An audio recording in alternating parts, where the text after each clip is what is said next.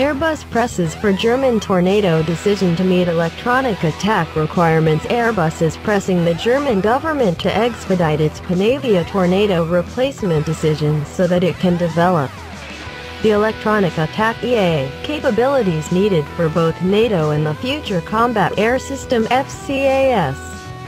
A senior company official told Janes on the 27th of November speaking at the Berlin Security Conference 2019, Airbus marketing manager Combat Air Systems, Dirk Zickora, said that a decision is needed on which platform the Luftwaffe will receive to replace its 90 Tornadoes so as to release the funds needed for Airbus to develop the electronic combat reconnaissance ECR version of the Eurofighter, if selected.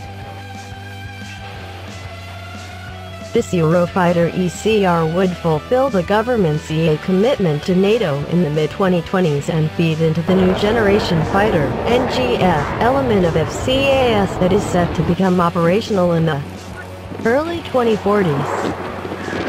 We need a decision on the Tornado replacement to trigger the release of funding for the Eurofighter ECR. We are on or slightly behind the timeline to meet the NATO and FCAS commitments already. And we cannot really afford any further delay, Zickora said.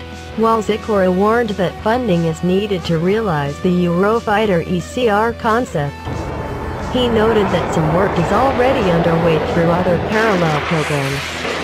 On the EA side, Hensoldt is developing the standoff jammer element of the Luftwaffe's planned future capability.